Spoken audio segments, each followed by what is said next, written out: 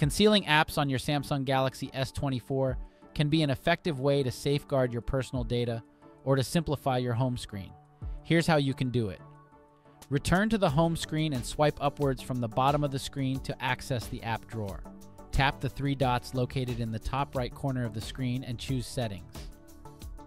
Scroll down and tap on Hide Apps on Home and App screens. On the subsequent screen, you will have the option to select the apps you wish to hide. Simply tap on each of the icons to select them. Once you're done, tap Done. This will conceal the apps you selected from both the home screen and the app drawer. Now, if you wish to reveal the apps that have been hidden, you just need to follow the same steps. Open the app drawer and access the home screen settings.